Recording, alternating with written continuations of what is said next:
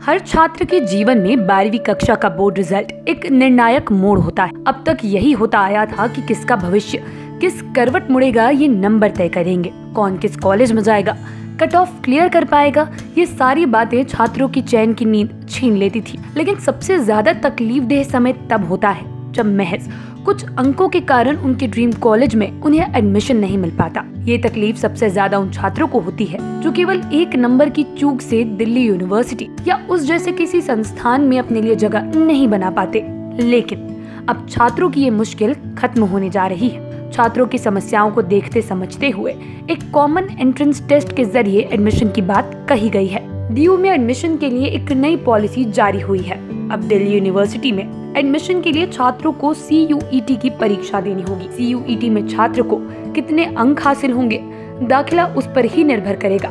खास बात यह है कि केवल दिल्ली यूनिवर्सिटी ही नहीं, बल्कि 45 यूनिवर्सिटीज में एडमिशन का एक एग्ज़ाम होगा, जो कि ये सी e है। पहले दिल्ली यूनिवर्सिटी में बारहवीं के मार्क्स को देखते हुए एडमिशन दिया जाता था, लेकिन अब एडमिशन उस पर निर्भर नहीं करने वाला है। एक जानने लायक ज़रूरी बात यह है कि CUET स्टूडेंट्स को रैंक नहीं देगी। ये केवल उन्हें मार्क्स देने वाला है। इस मार्क्स के आधार पर ही प्रक्रिया में शामिल यूनिवर्सिटीज अपनी कट ऑफ़ लिस्ट तैयार करेंगी। एग्ज़ाम में गलत जवाब देने वालों की नेगेटिव मार्किंग होगी। कट ऑफ़ तय करने में बारहवीं बोर्ड की परीक्षा में मिले अंकों का कोई भी वेटेज नहीं होगा। अब सवाल ये खड़ा होता है कि आखिर कितनी भाषाओं में ये परीक्षा दी जा सकती है? सी यू टी एग्ज़ाम तेरह अलग अलग भाषाओं में आयोजित होगा ताकि देश भर के सभी छात्र अपनी पसंद की भाषा चुन सकें। इनमें इंग्लिश, हिंदी, असमी, बंगाली, मराठी, पंजाबी, गुजराती, मलयालम, कन्नड़, उड़िया, उर्दू, तमिल और तेलुगु शामिल है। रजिस्ट्रेशन के लिए ऑफिशियल वेबसाइट खुल चुकी है और परीक्षा जुलाई महीने के पहले सप्ताह में होने वाली है। अब आपको आगे बताते हैं कि रजिस्ट्रेशन किस तरीके से की जा सकती है और उसके लिए कौन सी डॉक्यूमेंट्स ज़रूरी है। रजिस्ट्रेशन के लिए सबसे पहले official website C U E T dot S A M A R A T H dot A C dot in पर जाएँ। वेबसाइट पर जाते ही रजिस्ट्रेशन लिंक सामने होगा। उस पर क्लिक करें।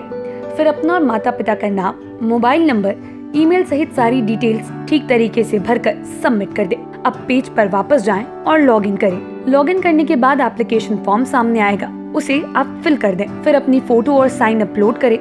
लास्ट में एप्लीकेशन फ़ीस भी भर दें।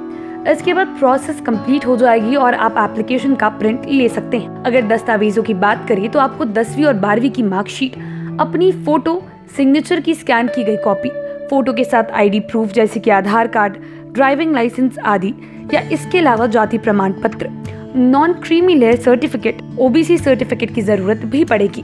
जहाँ तक बात सिलेबस की है तो एनसीईआरटी की बारहवीं का सिलेबस और सी एग्ज़ाम का सिलेबस आपस में मिलता जुलता हो सकता है। एक स्टूडेंट ज़्यादा से ज़्यादा छह विषयों के लिए ही परीक्षा दे सकता है।